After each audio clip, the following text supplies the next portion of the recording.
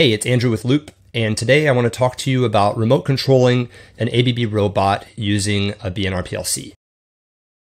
ABB does a really good job of exposing lots of its robot functionality using something called Robot Web Services, and we at Loupe have built a library around that that we can run on the PLC.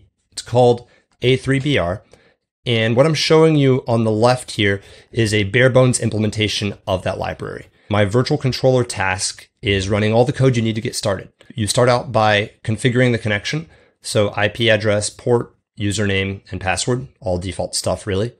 Then you call a function block from the A3BR library called A3BR connection.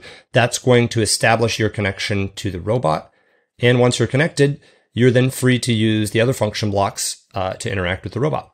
The one I'll be demonstrating here is called A3BR control for starting and stopping rapid programs. So you can see here, I've got a simple rapid program running with two MoveL instructions, and I'll go ahead and issue a start command. So it's just moving back and forth between the two, and it's going to do so forever because I've configured my cycle from this FUBS vantage point to be forever. I can now issue a stop command at any point, and it'll interrupt the program execution.